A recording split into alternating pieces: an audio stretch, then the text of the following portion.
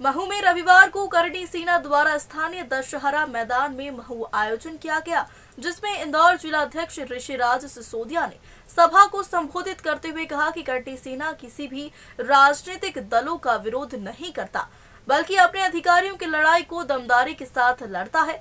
इधर महू तहसील अध्यक्ष कुंदन सिंह पटेल ने बताया कि श्री राष्ट्रीय राजपूत करनी सेना आरक्षण और एट्रोसिटी एक्ट में संशोधन करने की मांग को लेकर पूरे महू तहसील के सभी समाजजनों को एकत्रित कर यह आयोजन किया जा रहा है।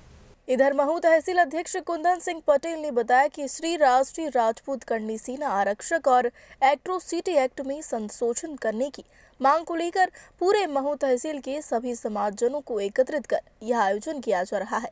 इसकी शुरुआत हो चुकी है और पूरे प्रदेश में यह लड़ाई दमदारी के साथ जारी रहेगी।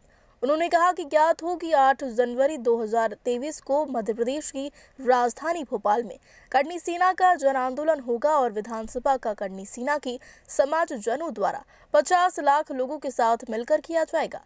करनी समाज का उद्देश्य है कि हर हाल में आर्थिक आधार, आरक्षण और एट्रोसिटी एक्ट में संशोधन करवाना है।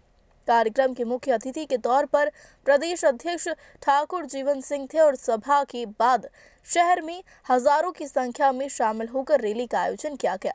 रैली का जगह जगह पुष्प वर्षा कर स्वागत भी किया गया और कार्यक्रम के दौरान भारी संख्या में महिलाएँ व पुरुष सहित शामिल हुए हैं, जहाँ पांडाल भरा हुआ था।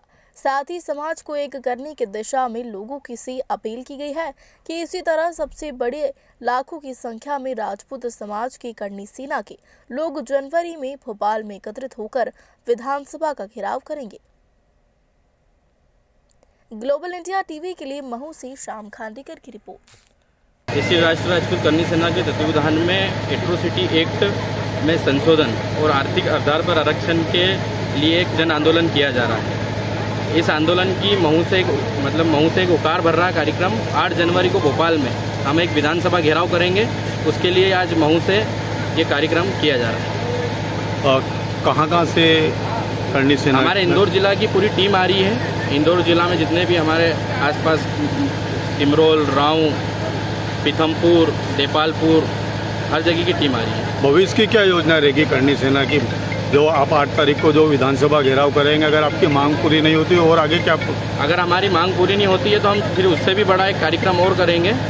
और ये हालाँकि अभी अपने इतिहास का सबसे बड़ा कार्यक्रम रहेगा। पचास लोग पचास लाख लोग का टारगेट के साथ में हम विधानसभा घेराव कर रहे हैं। आपका नाम? कुंदन सिंह पटेल।